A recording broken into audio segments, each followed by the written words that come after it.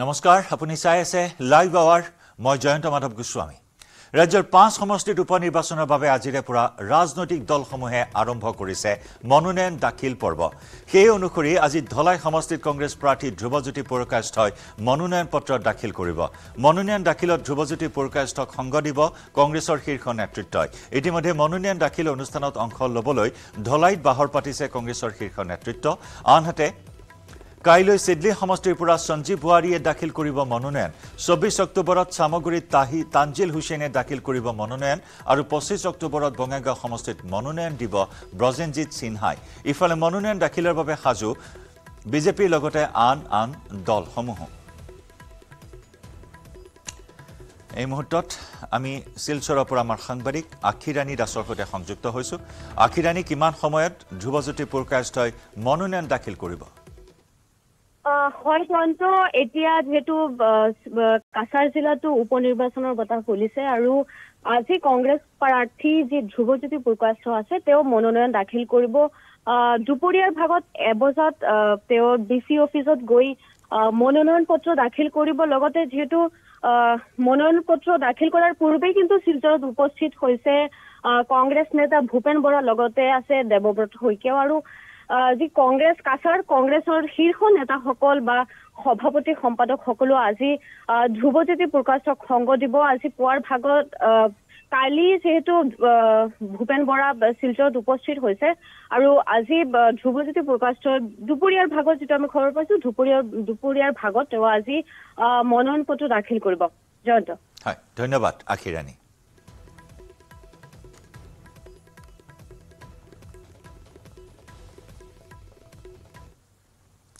গোলাঘাটৰ ৰাজপথত দুই যুৱতীৰ প্ৰচণ্ড মাৰপিটক লৈ চাঞ্চল্য।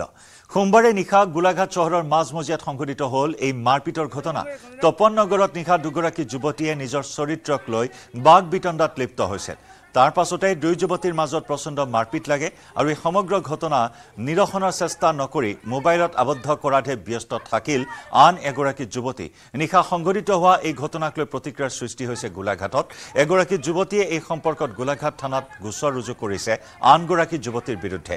দুই যুৱতীৰ তাণ্ডৱত কিছু সময়ৰ বাবে অপ্ৰীতিকৰ পৰিস্থিতিৰ সন্মুখীন হ'ল স্থানীয় লোকসকল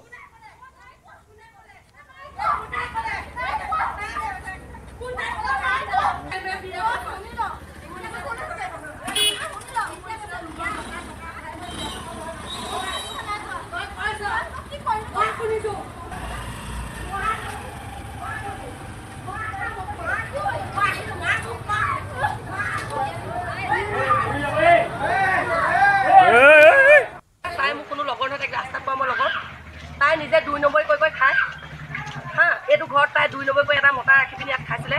কি আই হ'ল নাজানো আমিতো নাজানো মই কোনো কথাই নাপাতো তাইৰ লগত। তাই দুই নম্বৰ বুলি গোটেই গোলাঘাট টাউনে জানে। আমি সেইবোৰ নাজানো তাই মোৰ লগৰ দহজনীমানক তাই মেছেজ কৰি কৈছে মই বোলে দুই নম্বৰ তাই মেছেজ দিছে লেতেৰা লেতেৰা ভাষা লিখিছে হা তাত। তাই তাত লিখিছে মই কৰি সোণৰ চেইন গাড়ী কিনিছোঁ। মই হেনো মূৰৰ পৰা ভৰি তলৈকে সোণ হয় মই পিন্ধিছোঁ মই কোটি টকা সোণ কিনিছোঁ। তপন নগৰৰ নামঘৰ ওচৰলৈ গৈছিলোঁ তাত মই আগতে তাত ভাড়া আছিলোঁ। তাৰপিছত মই তোমাৰ মা- বাইদেউক লগ কৰিবলৈ গৈছিলোঁ কিবা কাৰণত। তাত আপোনাৰ চুইটৰ মানুহজন থাকে। চুইটৰ দাদাজন তাত মানে ভাড়া থাকে। সেই দাদাজনৰ ওচৰলৈ গৈছিলোঁ মানে তাত মই বস্তু থৈ আহিছিলোঁ। বস্তুকেইটা মানে চাবলৈ যাবলৈ লৈছিলোঁ। তেতিয়া দাদাজনে ক'লে যে চাবিটো দি দিছোঁ তুমি বস্তুকেইটা চাই আহা বুলি মোক পঠিয়ালে। আহিলত সেই ছোৱালীকেইজনী মোৰ প্ৰতি আখেজ আছিলে। সিহঁতি কিবা সিহঁতি কিবা কৰে চাগে তেনেকুৱা হ'ব পাৰে। মই চাগে কিবা জানো বুলি। তেনেকৈ মোক সন্দেহ কৰিছে চাগে মই কিবা লগাইছোঁ বুলি। মই তালৈ গৈছোঁ বুলি কোৱা মানুহজন হৈছে চুইটৰ মান চুইটৰ মালিকজন। গেটখন মাৰোঁতেই মই সুবিধাই নাপালোঁ। সিহঁতি ছাইডত লুকাই আছিলে। লুকাই পেলাই মোক চুচুৱাই পেলাই মোক মাৰিছে বহুত প্ৰহাৰ কৰিছে সিহঁতি। মানে সিহঁতি মানে প্ৰাণে মৰা ভাবকেই মানে দিয়া নিচিনা হৈছে। মোক মাৰিয়ে পেলাম বুলি আজি লৈছিলে। মোৰ মাৰপিট কৰা উদ্দেশ্যটো হৈছে সিহঁতৰ কিছুমান কথা মানে মই অলপমান গম পাইছিলোঁ। কি কৰে এন আইলত কাম কৰোঁ বুলি কোনোবা মানুহবিলাক কণ্টেক্ট কৰে কণ্টেক্ট কৰে মানে তাই। কি ব্যৱসায় মই আজিলৈকে দেখা নাই বাৰু কিন্তু তাই কণ্টেক্ট কৰে। মাজতে তাই মোকো ফোন কৰিছিলে মাজতে মোকো ফোন কৰিছিলে এন আইলত এনেকৈ কাম কাম চাম ওলাইছে কিবা ফ'ৰ্থ গ্ৰেডৰ কিবা কিবি কাম চাম কৰিব পাৰিবা। কিন্তু এনেকৈ চাৰহেঁত আছে লগ কৰি কথা পাতিবা। কিন্তু পিছত গম পালোঁ যে সেইটো এন আইলৰ এটা ভুৱা ফ'ৰ্থ গ্ৰেডৰ কামটোহে জিতি ওলাব। কিন্তু সেইবিলাক ভুৱা মানে তাই। এইচ এছ এল চি পৰীক্ষাৰ আবেদনৰ দিন ঘোষণা। তেইছ অক্টোবৰৰ পৰা আৰম্ভ হ'ব আবেদন প্ৰক্ৰিয়া। অনলাইন প্ৰক্ৰিয়াৰে চালান সংগ্ৰহৰ অন্তিম দিন পোন্ধৰ নৱেম্বৰ বেংকত চালান সংগ্ৰহৰ অন্তিম তাৰিখ ওঠৰ নৱেম্বৰ। অনলাইনযোগে ভুল শুধৰণিৰ অন্তিম দিন হৈছে ত্ৰিছ নৱেম্বৰ। অসম ৰাজ্যিক বিদ্যালয় শিক্ষা পৰিষদে জাৰি কৰিলে নিৰ্দেশনা। নিৰ্দিষ্ট সময়ত আবেদন কৰিলেহে বহিব পাৰিব পৰীক্ষাত।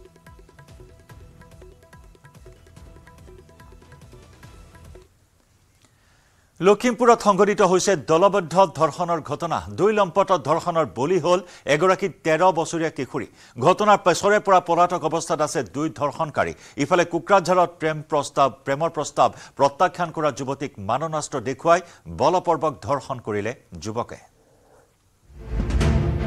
দলবদ্ধ ধৰ্ষণৰ বলি তেৰ বছৰীয়া কিশোৰী। বন্ধুৰ সৈতে মিলি গাঁও প্ৰধানে কৰিলে নিকৃষ্ট কাণ্ড। বিজয়া দশমীৰ দিনা সংঘটিত হৈছিল জঘন্য কাণ্ড লখিমপুৰৰ টুনিজানত সংঘটিত হৈছিল দলবদ্ধ ধৰ্ষণৰ ঘটনা। তেৰ অক্টোবৰ বিজয়া দশমী চাই সন্ধিয়া তিনি বান্ধৱীৰ সৈতে ঘৰলৈ উভতি আহিছিল কিশোৰীগৰাকী। তেনে সময়তে টুনিজানৰ গাঁও প্ৰধান প্ৰকাশ প্ৰধানে কিশোৰীগৰাকীক ঘৰত থৈ আহিম বুলি গাড়ীত তুলি নিয়ে। আৰু তাৰ পিছতেই বন্ধু জাকিৰ আনচাৰীৰ সৈতে মিলি দলবদ্ধ ধৰ্ষণ কৰে কিশোৰীগৰাকীক ইপিনে নিশালৈ কিশোৰীগৰাকীয়ে ঘৰলৈ ঘূৰি নহাত দলহাট আৰক্ষী চকীত নিৰুদ্দেশ সন্দৰ্ভত এজাহাৰ দাখিল কৰে কিশোৰীগৰাকীৰ পিতৃয়ে। পৰৱৰ্তী সময়ত পিতৃয়ে দুই বান্ধৱীক সোধাতে পোহৰলৈ আহে সমগ্ৰ ঘটনা। লগে লগে কিশোৰীগৰাকীৰ পিতৃয়ে গাঁও প্ৰধান প্ৰকাশ প্ৰধানৰ বিৰুদ্ধে দলোহাট আৰক্ষী চকীত এজাহাৰ দাখিল কৰে। পৰৱৰ্তী সময়ত স্থানীয় লোকৰ সহায়ত পৰিয়ালৰ লোকে মুমূৰ্ষ অৱস্থাত উদ্ধাৰ কৰে কিশোৰীগৰাকীক। প্ৰকাশ প্ৰধানে।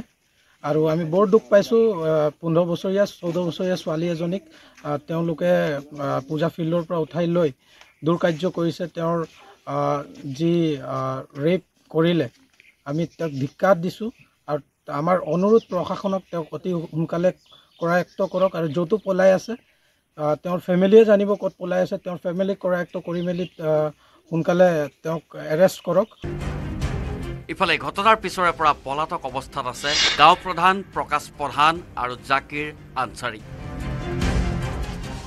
পূৰ্বেও প্ৰকাশ প্ৰধান ৰাজহুৱা সম্পত্তি ধ্বংস কৰাৰ অভিযোগত গৈছিল কাৰাগাৰলৈ। ইতিমধ্যেই দলহাট আৰক্ষীয়ে জব্দ কৰিছে অভিযুক্ত প্ৰকাশ প্ৰধানৰ বাহনখন। পক্সো আইনৰ অধীনত গোচৰ ৰুজু কৰি দুই নৰাধম প্ৰকাশ প্ৰধান আৰু জাকিৰ আনচাৰীক বিচাৰি অভিযান অব্যাহত ৰাখিছে দলহাট আৰক্ষীয়ে। ইপিনে কোকৰাঝাৰৰ গুৰুফেলাটো ধৰ্ষণৰ বলি হ'ল এগৰাকী পোন্ধৰ বছৰীয়া কিশোৰী। গুৰুফেলাৰ শান্তু ৰায় নামৰ এটা লম্পতে সংঘটিত কৰে এই জঘন্য ঘটনা। অভিযোগ অনুসৰি প্ৰায় পাঁচ মাহ পূৰ্বে শান্তু ৰায়ে অন্য সম্প্ৰদায়ৰ এগৰাকী কিশোৰীক দিছিল প্ৰেমৰ প্ৰস্তাৱ। কিন্তু কিশোৰীগৰাকীয়ে প্ৰেমৰ প্ৰস্তাৱ প্ৰত্যাখ্যান কৰাত বলপূৰ্বকভাৱে ধৰ্ষণ কৰে। ইমানেই নহয় পাঁচ মাহ ধৰি নিৰ্যাতিতা কিশোৰীগৰাকীক বন্দুক আৰু চোকা অস্ত্ৰৰে ভয় ভাবুকি দি শাৰীৰিক আৰু মানসিক অত্যাচাৰ চলাই আহিছিল। অনুৰূপ ধৰণে শনিবাৰে নিশা পুনৰ কিশোৰীগৰাকীক ধৰ্ষণ কৰে লম্পট শান্তৰায়ে পিছত কিশোৰীগৰাকীৰ পিতৃয়ে সকলো কথা গম পাই গুৰুফেলা আৰক্ষী চকীত গোচৰ ৰুজু কৰে। ইতিমধ্যে গুৰুফেলা আৰক্ষীয়ে গ্ৰেপ্তাৰ কৰিছে লম্পট শান্তু ৰায়ক লখিমপুৰৰ পৰা সঞ্জীৱ লাহন তামাৰহাটৰ পৰা শ্বহীদুল হকৰ report News Eighteen Assam North East.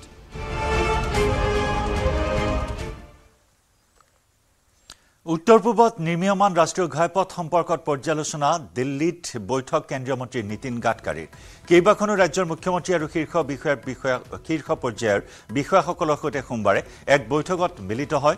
Arunachal প্ৰদেশৰ চাৰিশ তেইছ কিলোমিটাৰতকৈ অধিক দৈৰ্ঘ্যৰ পোন্ধৰটা ৰাষ্ট্ৰীয় ঘাইপথ প্ৰকল্প মণিপুৰৰ সাতত্ৰিছটা ঘাইপথ প্ৰকল্প ত্ৰিপুৰাৰ ষোল্লটা ৰাষ্ট্ৰীয় ঘাইপথ প্ৰকল্পৰ অগ্ৰগতিৰ পৰ্যালোচনা কৰে কেন্দ্ৰীয় পথ পৰিবহণ মন্ত্ৰীগৰাকীয়ে। নিৰ্মীয়মান ৰাষ্ট্ৰীয় ঘাইপথসমূহ সময়মতে সম্পূৰ্ণ কৰা উত্তৰ পূবৰ ৰাজ্যসমূহৰ সংযোগ বৃদ্ধি আৰু অৰ্থনৈতিক উন্নয়নৰ ওপৰতো গুৰুত্ব আৰোপ কৰা হয় এই বৈঠকত। এই বৈঠকত উপস্থিত থাকে কেন্দ্ৰীয় ৰাজ্যমন্ত্ৰী কিৰেণ ৰিজিজু অৰুণাচল প্ৰদেশৰ মুখ্যমন্ত্ৰী পেমা খাণ্ডু মণিপুৰৰ মুখ্যমন্ত্ৰী এন বীৰেন সিং ত্ৰিপুৰাৰ মুখ্যমন্ত্ৰী মানিক সাহা বৈঠকত কেন্দ্ৰীয় ঘাইপথ ৰাজ্যমন্ত্ৰী অজয় তামতা আৰু জ্যেষ্ঠ বিষয়াসকল উপস্থিত থাকে। এই গুৰুত্বপূৰ্ণ বৈঠকত উত্তৰ পূবত নিৰ্মাণ কাৰ্য চলি থকা ৰাষ্ট্ৰীয় ঘাইপথসমূহ ক্ষীপ্ৰতাৰে কাম সম্পূৰ্ণ কৰাৰ নিৰ্দেশ দিয়ে কেন্দ্ৰীয় মন্ত্ৰী নীতিন গাডকাৰীয়ে। দুদিনীয়া সূচীৰে প্ৰধানমন্ত্ৰী মোদীৰ ৰাছিয়া ভ্ৰমণ। নতুন দিল্লীৰ পৰা ৰাছিয়াৰ কাজান অভিমুখে যাত্ৰা কৰিলে মোদীয়ে। বাইছ আৰু তেইছ অক্টোবৰত কাজানত অনুষ্ঠিত হৈছে ব্ৰিক্স সন্মিলন। গোলকীয় উন্নয়ন আৰু সুৰক্ষাৰ বাবে যৌথ ৰাষ্ট্ৰ শক্তি বৃদ্ধি মন্ত্ৰৰে ৰাছিয়াৰ কাজানত এইবাৰৰ ব্ৰিক্স সন্মিলন অনুষ্ঠিত হৈছে। ব্ৰিক্স সন্মিলনত অৰ্থনৈতিক সহযোগিতা বৃদ্ধি ৰাষ্ট্ৰীয় মুদ্ৰাৰে বাণিজ্যৰ ব্যৱস্থা বহনক্ষম উন্নয়ন আদি বিষয়ৰো আলোচনা কৰা হ'ব। ব্ৰিটেইন ৰাছিয়া ভাৰত আৰু চীনৰ উমৈহতীয়া মঞ্চখনৰ ভাৰত অন্যতম প্ৰতিষ্ঠাপক দেশ। প্ৰধানমন্ত্ৰী মোদীয়ে ব্ৰিক্স সন্মিলনত ভাগ লোৱাৰ লগতে ব্ৰিক্স সদস্য ৰাষ্ট্ৰ নেতাৰে দ্বিপাক্ষিক বৈঠকতো মিলিত হ'ব। দুহেজাৰ চৌব্বিছত প্ৰধানমন্ত্ৰী মোদীৰ এয়া দ্বিতীয়টো ৰাছিয়া ভ্ৰমণ। ইয়াৰ পূৰ্বে বাইছ সংখ্যক ভাৰত ৰাছিয়া বাৰ্ষিক সন্মিলনত ভাগ ল'বলৈ এই বৰ্ষৰে জুলাইত মোদীয়ে ৰাছিয়া ভ্ৰমণ কৰিছিল। সেই ভ্ৰমণতে মোদীক ৰাছিয়াৰ সৰ্বোচ্চ অসামৰিক সন্মান প্ৰদান কৰা হৈছিল।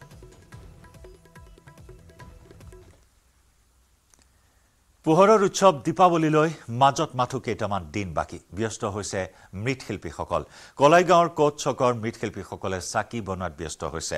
সৰু বৰ চাকিৰ লগতে পঞ্চমুখী চাকি তৈয়াৰ কৰিছে মৃৎশিল্পীসকলে বছৰ বছৰ ধৰি পৰম্পৰা ৰক্ষা কৰি এই কাম কৰি আহিছে এই লোকসকলে। এইবেলি এই মহিলা দুগৰাকীয়ে প্ৰায় এক লাখ মাটিৰ চাকি তৈয়াৰ কৰিছে। কলাইগাঁৱৰ কোট চকতো এনেদৰে এতিয়া মাটিৰ চাকিৰ নিৰ্মাণ কাৰ্য চলিছে। আগবঢ়াইছো কলাইগাঁৱৰ পৰা আমাৰ সংবাদদাতা ৰিপুঞ্জয় নাথৰ প্ৰতিবেদন। পোহৰৰ উৎসৱ দীপাৱলীলৈ মাজত মাথো কেইটামান দিন বাকী আৰু সেই সময়তে ব্যস্ত হৈ পৰিছে মৃৎশিল্পীসকল আৰু তেওঁলোকৰ হাতৰ পৰশত প্ৰাণ পাই উঠিছে সুন্দৰ সুন্দৰ মাটিৰ চাকি। এইদৰে আচলতে পৰম্পৰা জীয়াই ৰাখিছে এইসকল মৃৎশিল্পীয়ে বিভিন্ন চাকি তৈয়াৰ কৰে বিভিন্ন ৰঙী বিৰঙী চাকি তেওঁলোকে হাতেৰে আচলতে তৈয়াৰ কৰে। মোৰ লগত মৃৎশিল্পীসকল আছে তেওঁলোকৰ পৰা মই পোনে পোনে জানিবলৈ চেষ্টা কৰিম। বাইদেউ কেনেকুৱা? দীপাৱলী আহিলে কেনেকুৱা লাগে? ভালে লাগে। মনটো ফূৰ্তি লাগে। পইচা পোৱা যায় একে একেবাৰে। হয়। আপোনালোকে এই কামটো কিমান বছৰ ধৰি কৰি আছে? মোৰ বিয়া হৈছে পোন্ধৰ বছৰমান পোন্ধৰ বছৰ ধৰি কৰি আছোঁ। হয়। আপুনি এদিনত কিমান চাকি তৈয়াৰ এক হাজাৰমান পাৰে সৰুটো হয়। এইবাৰ দীপাৱলী উপলক্ষে কেনেকুৱা কিমান কেনেকুৱা ডিজাইনৰ চাকি তৈয়াৰ কৰি দুই তিন তিনিটা কোৱালি। কি কি চাকি বুলি কয় এইবিলাক? সৰু মাজু আৰু ডাঙৰ। এটা যে আপুনি বিভিন্ন পঞ্চমুখী। পঞ্চমুখী। হয়। চাকিৰ দাম কিমান হ'ব এইবাৰ? এনে পাইকাৰী ছয় টকা সাত টকা আৰু এনে বিক্ৰী কৰিলে দহ টকা। এই চাকিসমূহ আপোনালোকে ক'ত ক'ত বিক্ৰী কৰে? টংলা যায় ডিমাকুচি যায় তাৰপিছত ওদালগুৰিও যায়। এটা কথা ক'ব লাগিব যে এইসকল শিল্পীয়ে আচলতে বছৰ বছৰ ধৰি তেওঁলোকৰ যি মৃৎশিল্পৰ লগত তেওঁ জড়িত আচলতে অকল তেওঁলোকে দীপাৱলী আহিলে বা যিকোনো পূজা উৎসৱৰ কাৰণে চাকিয়েই অকল তেওঁলোকে তৈয়াৰ কৰে। কিন্তু তেওঁলোকে আচলতে চৰকাৰৰ পৰা যি সুবিধা পাব লাগে আজিলৈকে আচলতে এই মৃৎশিল্পীসকল কলাইগাঁও বা ওদালগুৰি বুলিয়ে নহয় বিভিন্ন স্থানৰ মৃৎশিল্পীসকলে এতিয়ালৈকে কোনো কোনো চৰকাৰৰ পৰা কোনো ধৰণৰ সুবিধা পোৱা নাই। তথাপিও কিন্তু পৰম্পৰা জীয়াই ৰাখি তেওঁলোকে তিনি সৰু চাকি ডাঙৰ চাকি বা পঞ্চমুখী চাকিৰ পৰা আৰম্ভ কৰি তৈয়াৰ কৰি বিভিন্ন চাকি তেওঁলোকে তৈয়াৰ কৰে। এটা কথা ক'ব লাগিব যে এই যিটো সময়ত নেকি মেচিন মেচিনে ভৰি পৰিছে বা যন্ত্ৰ পাতিৰে ভৰি পৰিছে চাকি তৈয়াৰ কৰা যন্ত্ৰ পাতিৰে ভৰি পৰিছে তাৰপিছত কিন্তু তাৰপিছতো কিন্তু তেওঁলোকে তেওঁলোকৰ পৰম্পৰা তেওঁলোকে এৰি দিয়া নাই তেওঁলোকে পৰম্পৰা জীয়াই ৰাখিছে। আৰু এইদৰেই আচলতে ওদালগুৰি জিলাৰ মৃৎশিল্পীসকল দীপাৱলীৰ বাবে ব্যস্ত হোৱা পৰিলক্ষিত হৈছে।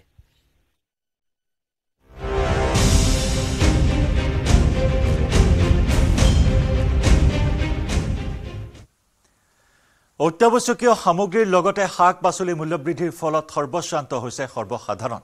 ৰাজ্য চৰকাৰ যোগান বিভাগ বিভাগীয় মন্ত্ৰীৰ অকৰ্মণ্যতাত নিয়ন্ত্ৰণহীন হৈ পৰিছে ৰাজ্যৰ বজাৰ। যাৰ যি ইচ্ছা তেনেকৈয়ে লৈছে দাম।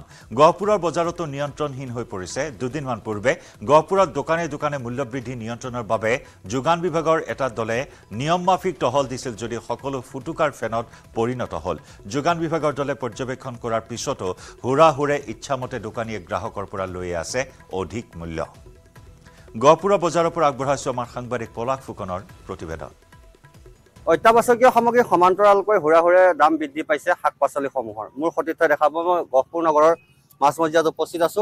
মই প্ৰথমে ব্যৱসায়ীগৰাকী আছে কথা পাতিম। দাদা শাক পাচলিৰ দাম বহু বৃদ্ধি পাইছে বোলে। শাক পাচলিৰ দাম আপোনাৰ জলকীয়া দুশ টকা পটল ষাঠি টকা আৰু তিয়ঁহ হ'ল ষাঠি টকা বিলাহী আশী টকা আলু পঁয়ত্ৰিছ টকা তিতা কেৰেলা? এশ টকা। বহুত দামবিলাক বৃদ্ধি পাইছে ন? বহুত দাম বৃদ্ধি পাইছে। দাম? এতিয়া কিহৰ কাৰণে পাইছে? বস্তু নাটনি হৈছে। আৰু পাবলৈ নাইকিয়া হৈছে। যোৱা কেইবাদিনো কেইবামাহো ধৰি শাক পাচলিৰ দামসমূহ বৃদ্ধি পায়ে আছে। বৃদ্ধি মানে দাম কমাই নাই দাম বাঢ়িয়ে আমাৰ অসুবিধা হৈছে গ্ৰাহকৰ লগত তৰ্ক বিতৰ্ক কৰিব লাগে। এতিয়া ইমান দাম গ্ৰাহকে দিব নিবিচাৰে। এতিয়া কি কৰিব? নিশ্চয় গ্ৰাহক দেখিছো আমি। দাদা শাক পাচলি ক্ৰয় কৰিবলৈ শাক পাচলিৰ কথা কি ক'ব? শাক পাচলিতো আমাৰ মধ্যভোগী শ্ৰেণীটোক একেবাৰে মাধমাৰ সদাইছে অকণ এইফালে চাই দিব আৰু এই শাক পাচলি কিনিবলৈ যাওঁতে আমি আমাৰ মধ্যভোগীৰ কাৰণে বহুতো কষ্ট কৰিবলগীয়া হৈছে। শাক পাচলিৰ ওচৰত যাব নোৱাৰি। সেয়েহে আমি কেনেকৈ চলিম কেনেকৈ কৰিম বজাৰলৈ আহিলে বস্তুৰ দাম শুনিয়ে আমি মানে অকণমান অবাক হ'বলগীয়া হয়। যিমান দাম হ'লেওতো মানুহে খাবই লাগিব। কিনি খাবই লাগিব নাখালে আৰু এটা কথা মানে কি শাক পাচলি আজিকালি আমাৰ জনসাধাৰণৰ শাক পাচলি খেতি কৰিব লাগে দেই। অকল ব্যৱসায়বাদী এইবিলাক নিবনুৱা যুৱক যুৱতীসকলে শাক পাচলি খেতি কৰি নিজৰ কৰ্মমুখী জীৱন গঢ়ি তুলিব লাগে সেইটো ভাবোঁ মই। নিশ্চয়। আৰু এনেদৰে পুনৰ দেখাব সতীৰ্থ আৰু গ্ৰাহক আছে আমি আৰু কথা পাতিব বিচাৰিম কাৰণ শাক পাচলি প্ৰতি সাঁজ ব্যঞ্জনতে শাক পাচলিৰ নিতান্তই প্ৰয়োজন। বাইদেউ শাক পাচলি ক্ৰয় কৰিবলৈ আহিল। হয়। দামবিলাক কেনেকুৱা পাইছে? দাম যথেষ্ট বৃদ্ধি পাইছে এইকেইদিন মই এতিয়া কোমোৰাটো লওঁতে বাৰু এশ টকা সেই কোমোৰাটো ঠিকেই পালোঁ বাকীখিনি এতিয়ালৈকে ট্ৰাই কৰাই নাই। আৰু যিহেতু কেইবামাহো ধৰি দামসমূহ বৃদ্ধি পাই আছে আপোনাৰ মিঠাতেলেই হওক বা বিভিন্ন শাক পাচলি অত্যাৱশ্যকীয় সামগ্ৰী ৰান্ধনি ঘৰত যেতিয়া আপোনালোক সোমায় সমস্যা কিছু হয়? কিছুমান সমস্যা হয় নোহোৱা নহয় বাৰু। নিশ্চয় আৰু এনেদৰে ব্যৱসায়ীগৰাকী আছে। অকণমান দাদা আগবাঢ়ি আহিলে ভাল পাম। কওকচোন যিহেতু বৰ্তমান সময়ত শাক পাচলিৰ দাম অকণ আগবাঢ়ি আহিব। এনেই গ্ৰাহকৰ লগত তৰ্কাতৰ্কি কৰাটো নিচিনা হয় আৰু। যিহেতু এতিয়া দাম বহুত দাম হৈছে। আলু আপোনাৰ আঠাইছ টকা ঊনত্ৰিছ টকা আলু আনিছো। পঁয়ত্ৰিছ চল্লিছ টকাত বেচিব লাগিব। পঁয়ত্ৰিছ চল্লিছ টকা বেচিবলৈ চল্লিছ টকা বেচিবলৈ বাইদেউ মনা কৰি থৈ যায়। ৰেডিঅ' আমাৰ দিগদাৰ হয় অলপ বেচিবলৈ। নিশ্চয়। সমস্যা সকলোৰে হয় আৰু এনেদৰে এতিয়া শাক পাচলিৰ হুৰা হুৰা মূল্য বৃদ্ধি পাইছে। গতিকে গ্ৰাহক ৰাইজে তাৰ মাজতে ক্ৰয় কৰিবলৈ ওলাই আহিছে যদিও কিন্তু যথেষ্ট সমস্যাৰ সন্মুখীন হ'বলগীয়া হৈছে শাক পাচলিৰ মূল্য বৃদ্ধিৰ ক্ষেত্ৰত। তিতাবৰত অব্যাহত আছে বন্য হস্তীৰ উপদ্ৰৱ। গিবন অভয়াৰণ্যৰ পৰা খাদ্যৰ সন্ধানত ওলাই অহা বৃহৎ হাতী জাকে জনাঞ্চলত প্ৰৱেশ কৰি সৃষ্টি কৰিছে আতংকৰ। বন্য হস্তীৰ প্ৰায় সত্তৰজনীয়া জাকটোৱে চেঁচা সত্ৰ বৰচৈকটা চাহ বাগিচা গড়গুৰি ননৈ গাঁও খৰিকটীয়া লেটেকুজান লেটুৱা বস্তি টকৌবাৰীকে ধৰি বহুকেইটা অঞ্চলত প্ৰৱেশ কৰি চলাইছে উপদ্ৰৱ। বন্যহস্তীৰ ভয়ত বিনিদ্ৰ ৰজনী কটাইছে ৰাইজে। বন্যহস্তীৰ উপদ্ৰৱ ৰোধৰ ক্ষেত্ৰত ব্যৰ্থ বন বিভাগ। প্ৰতিদিনেই প্ৰতি নিশাই ঘৰ দুৱাৰ ভাঙি লণ্ডভণ্ড কৰাৰ লগতে বিঘাই বিঘাই ধান খাই তহিলং কৰিছে বন্যহস্তীয়ে। বিগত সময়ছোৱাত বন্যহস্তীৰ আক্ৰমণতো বহু লোকে প্ৰাণ হেৰুৱাইছে। যোৱা বৰ্ষত নিশা বন্যহস্তীৰ জাকটোক উভতাই পঠাবলৈ আহোঁতে হাতীৰ আক্ৰমণত এজন বনকৰ্মীৰো মৃত্যু হৈছিল। দিনত চৈকতা আৰু খৰিকটীয়া চাহ বাগিচাত আশ্ৰয় লৈ থকা হাতী জাকটোৱে নিশা হলে কাষৰীয়া গাঁওসমূহত প্ৰৱেশ কৰি চলায় উপদ্ৰৱ। হাতী খেদিবৰ কাৰণে যিকেইজন আপোনাৰ ৰাইফল দিয়ে সেইবোৰ পুৰণা নুফুটে। তো তেনে ক্ষেত্ৰত আমাৰ তেতিয়াবৰে ৰাইজে আজি বা মৰিয়নি সীমামূৰীয়া ৰাইজে যি আজি যান্ত্ৰণা ভুগিছে এই হাতী উপদ্ৰৱৰ কাৰণে আজি হাজাৰ হাজাৰ কৃষিভূমি মানে আমাৰ অনিষ্ট কৰিছে। ৰাতি মানুহ শোৱন খাৱন নাই। কিন্তু এই যেতিয়া আমাৰ হাতীৰ সমস্যা আহিব এই ছিজনটোত ধান যেতিয়া হয় তেতিয়া আমাৰ দেখিব টৰ্চ লাইট দুটামান বিলাবলৈ যাব। হে চাবলৈ যাব ধান অনিষ্ট কৰিলে। যাৰ গ'লে কম্বলৰ লোৱা কথাটো হৈছে আপোনালোকে যদি হাতী খেদা কিবা পদক্ষেপ লয় যিসকল প্ৰতিনিধিয়ে এতিয়া চিন্তা কৰিছে তেখেতসকলে যেতিয়া আমি কঠীয়া পাৰোঁ যেতিয়া ধান আমি ৰোপণ কৰোঁ তেতিয়াই যাতে যিবিলাক কৃষি কৃষিভূমি নষ্ট হৈছে সেইবিলাকত তেখেতলোকে ধান ৰোপণ কৰক কলগছ ৰোপণ কৰক। আজি গিবনৰ আশে পাশে হাজাৰ হাজাৰ বিঘা চৰকাৰী মাটি আছে। তাত কলগছ ৰোপণ কৰক কোনো মানে প্লানিং নাই। কোনো প্লানিং নাই কোনো হেৰি নাই। দেখিব এম এল এজন যাব এই টৰ্চ লাইট বিলাব। হে আজি এম পিও তেখেতৰ কোনো খবৰ নাই। তেনে ক্ষেত্ৰত কিন্তু আমি গৰিহণা দিছোঁ। কাজিৰঙা ৰাষ্ট্ৰীয় উদ্যানৰ পৰ্যটক পথত এটা প্ৰকাণ্ড দঁতালৰ পাইচাৰি। স্বভাৱজাত গহীন গম্ভীৰ সোজেৰে পথৰ ওপৰেদি আগুৱাইছে বিশালকায় দঁতাল হাতীটোৱে। এই দৃশ্য ৰাষ্ট্ৰীয় উদ্যানখনৰ কহৰা বনাঞ্চলৰ। সাধাৰণতে এনে দৃশ্য পৰ্যটকৰ বাবে বিৰল। গতিকে সকলো পৰ্যটকৰ দৃষ্টি নিবদ্ধ হৈ পৰিল গজৰাজৰ ওপৰত। আনহাতে এনে দৃশ্য পৰ্যটকক নিৰাপদভাৱে দেখুৱাব পাৰিলে সুখ অনুভৱ কৰে জিপচি চালকসকলেও। সাধাৰণতে হাতীয়ে জাক পাতি বিচৰণ কৰে যদিও কেতিয়া দঁতাল বা কেতিয়াবা দঁতাল বা মখনা হাতীৰ অকলশৰীয়া বিচৰণ থাকে ৰাষ্ট্ৰীয় উদ্যানখনৰ পৰ্যটক পথৰ ওপৰত। যাৰ বাবে বহু সাৱধানতা অৱলম্বন কৰিবলগীয়া হয় চালকসকলে। সেইদৰে অভিজ্ঞ চালকসকলে নিৰাপদ দূৰত্বত কৰা অৱস্থানৰ পৰা দৃশ্যটো উপভোগ কৰি উৎফুল্লিত হৈ পৰিল পৰ্যটকৰ দল।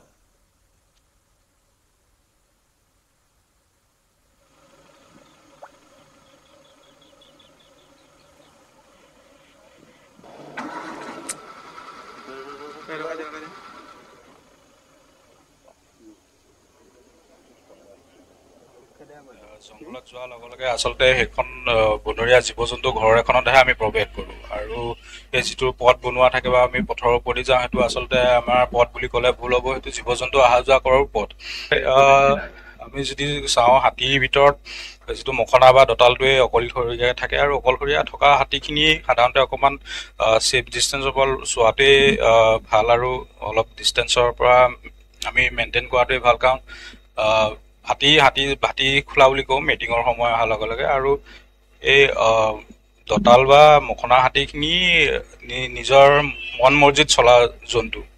ছ'চিয়েল এনিমেল হয় যদিও মানে নিজৰ মন মৰ্জিত চলে। গতিকে এই দঁতাল বা মখনা হাতীখিনি অহা যোৱা কৰা যিটো গহীন গম্ভীৰ ৰূপ সেইটো জংঘলৰ ভিতৰত প্ৰত্যক্ষ কৰাটো অতি সৌভাগ্য আৰু অতি আনন্দদায়ক।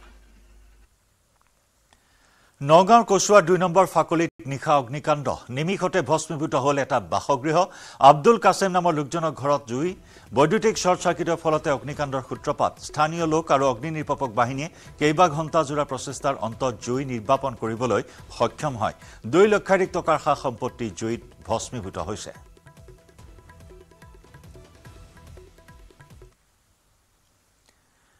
যি মাতৃয়ে জন্ম দি এই ধৰালৈ আনিছিল সেই সন্তানৰ হাততে প্ৰাণ হেৰুৱালে এগৰাকী মাতৃয়ে। বোকাখাটৰ সাপজুৰি ৰাঙলী গাঁৱত দেওবাৰে নিশা সংঘটিত হোৱা নৃশংস ঘটনাই জোকাৰি গ'ল সমগ্ৰ ৰাজ্য।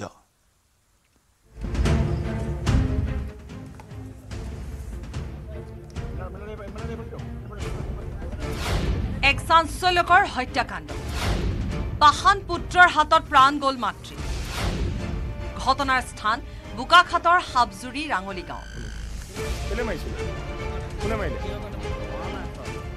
সন্ধিয়া ঘৰলৈ আহিয়ে মাতৃ শেৱালী বৰাৰ সৈতে কাজিয়াত লিপ্ত হৈছিল সুৰামত্ত চন্দন বৰা। কাজিয়াৰ পিছতে মাতৃক আক্ৰমণ কৰে চন্দন বৰাই। চন্দন বৰাৰ আক্ৰমণত থিতাতে প্ৰাণ গ'ল মাতৃ শেৱালী বৰাৰ ফোন আহিলে মোলৈ? যে এনে ঘটনা এটা হ'ল? কি হ'ল বোলে কলি বোলে এই পিতেকে বোলে মা মাৰপিট কৰি মা কিবা মাৰ্ডাৰ কৰি দিলে। হেৰালি বৰা হেৰালি বৰা? এনেই গম মানে এই চন্দন বুলি কোৱা ল'ৰাটো মাৰিছিলোঁ গম পাইছোঁ? আৰু? পিতেক হয়। মাতৃক আক্ৰমণ কৰিয়ে পলায়ন কৰে চন্দন বৰাই। আনহাতে ঘটনাৰ সময়ত ঘৰতে আছিল শেৱালী বৰাৰ আন এজন পুত্ৰ মামু বৰা। দুয়োকে পিছত স্থানীয় ৰাইজে কৰায়ত্ব কৰি গতাই দিয়ে বোকাখাট আৰক্ষী। স্থানীয় ৰাইজৰ অভিযোগ পূৰ্বৰে পৰা সুৰাৰ ৰাগীত আহি মাতৃক মাৰপিট কৰিছিল চন্দন বৰাই। আমি আগৰ পৰা আমি গম পাওঁ যে এই চন্দন নাম যিজন ল'ৰা হয় চন্দন তেওঁ আগৰ পৰা মাৰপিট কৰি থাকিলে আমি জানো আৰু। স্থানীয় ৰাইজে আৰক্ষীক খবৰ দিয়াত ঘৰটোৰ ভিতৰৰ পৰা দণ্ডাধীশৰ উপস্থিতিত মহিলাগৰাকীৰ মৃতদেহ উদ্ধাৰ কৰে বোকাখাট আৰক্ষীয়ে। কিন্তু কি কাৰণত হত্যাকাণ্ড সংঘটিত হ'ল সেয়া বৰ্তমানো ৰহস্যৰ আৱৰ্তত। কিন্তু নিজৰ পুত্ৰৰ হাততে মহিলাগৰাকীয়ে প্ৰাণ হেৰুৱাবলগীয়া হোৱা ঘটনাই সমগ্ৰ অঞ্চলতে তীব্ৰ চাঞ্চল্যৰ সৃষ্টি কৰিছে। বোকাখাটৰ পৰা ধ্ৰুৱজ্যোতি ৰাজখোৱাৰ report News Eighteen Assam North East.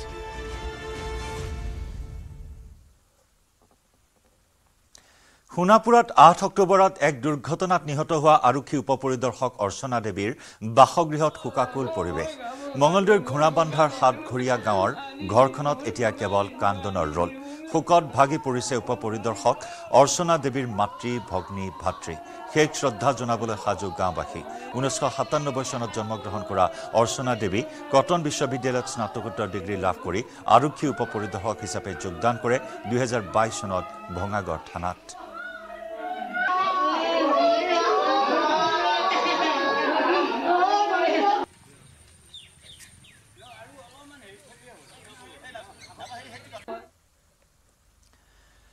আমেৰিকাত মিলিয়ন ডলাৰৰ কেলেংকাৰীৰ সৈতে নাম সাঙুৰ খাইছে অসমৰ এগৰাকী বিজ্ঞানীৰ। আমেৰিকাৰ তদন্তকাৰী সংস্থাই জাৰি কৰা বিবৃতিত কেলেংকাৰীত নাম সাঙুৰ খাইছে চিকুৱেষ্ট কেপিটেলৰ তদানীন্তন বিষয়া ত্ৰিদীপ গোস্বামী। লগতে কেলেংকাৰীত চৰ্চালৈ আহিছে যোৰহাটৰ সেৱা নামৰ এটা এন জি অ'ৰ নাম। এন জি অ' সেৱাৰ সৈতে কি সম্পৰ্ক চিকুৱেষ্টৰ চাওক এই প্ৰতিবেদন।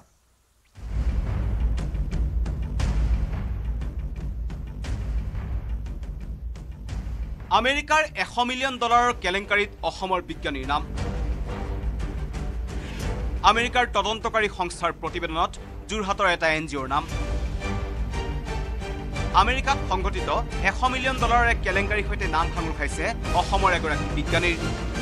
শেহতীয়াকৈ আমেৰিকাত পোহৰলৈ অহা এক বিশাল বিত্তীয় কেলেংকাৰীৰ সৈতে অসমৰ নাম সাঙুৰ খাইছে আৰু আমেৰিকাত সংঘটিত এশ মিলিয়ন ডলাৰ অৰ্থাৎ আঠশ প্ৰায় আঠশ ত্ৰিছ কোটি টকীয়া যি কেলেংকাৰী সেই কেলেংকাৰীৰ সৈতে যোৰহাটৰ এটা এন জি অ'ৰ নামো শেহতীয়াকৈ চৰ্চালৈ আহিছে।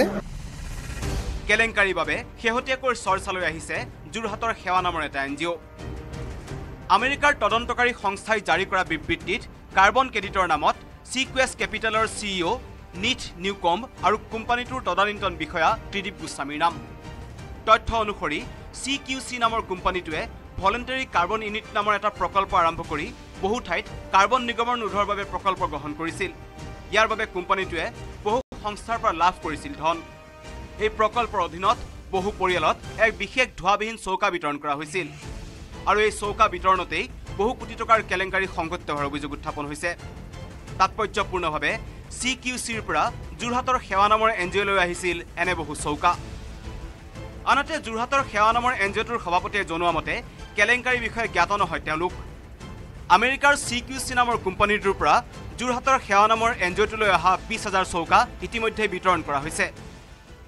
ডোৱামিন চৌকাৰ কাৰণে আমাক দিছিলে। আমি পাইলট প্ৰজেক্ট হিচাপে বিশ হাজাৰ মান হাউচ হলত আমি প্ৰথম অৱস্থাত আমি কাম কৰিছো। অসমত? আৰু এইটো ইণ্ডিয়াৰ বাহিৰৰ বস্তু তেখেতলোকে বিদেশৰ পৰা আমালে পঠাইছে। আমি ৰিচিভ কৰিছো। আৰু আমি বিনামূলীয়াকৈ মানুহক ডিষ্ট্ৰিবিউট কৰিছো। গতিকে তাৰ পৰা কোনো পইচাও তেখেতলোকৰ পৰা মানুহৰ পৰা আমি বেনিফিচাৰীৰ পৰা লোৱা হোৱা নাই। আনহাতে এগৰাকী অসমীয়া বিজ্ঞানী আমেৰিকাৰ এই কোম্পানীটোৰ সৈতে জড়িত থকাৰ বাবে ত্ৰিদীপ গোস্বামীৰ সৈতে তেওঁৰ যোগাযোগ আছিল বুলি জানিবলৈ দিয়ে বিবেক বৰাই। যিটো পইণ্ট কণ্ট্ৰিবিউশ্যন ল'বৰ কাৰণে আমাৰ এফ চিৰে থাকিব লাগে। গতিকে আমাৰ এফ চিৰে নথকা এটা সংস্থা। চিকুৱেছ কেপিটেলৰ লগত আমাৰ আমি তেখেতলোকৰ যিটো প্ৰজেক্ট বা তেখেতলোকৰ যিখিনি কৰ্মৰাজি আমি গম পাই তেখেতলোকক আমি এপ্ৰ'চ কৰিছিলোঁ কামটো কৰিবৰ কাৰণে আৰু আমি তেখেতলোকে আমাক চাই চিতি কামখিনি কৰিবলৈ আমাক দিছিলে। আৰু এতিয়া ধৰক এবছৰ সময় হৈ গ'ল তাত আগতে প্ৰজেক্টখিনি বন্ধ হৈ গৈছে। কাৰণ আমাৰ অসমৰ প্ৰেক্ষাপটত সেই প্ৰজেক্টটো ইমান বেছি খাপ নেখালে। আমেৰিকাৰ এশ মিলিয়ন কেলেংকাৰীৰ সৈতে যোৰহাটৰ সেৱা নামৰ এন জি অ'ৰ কোনো সম্পৰ্ক নাই বুলি এন জি অ'ৰ বিষয়াই স্পষ্ট কৰি দিছে যদিও এই সন্দৰ্ভত তদন্ত হ'লে সকলো স্পষ্ট হ'ব। যোৰহাটৰ পৰা গৌতম বৰাৰ report News Eighteen Assam North East.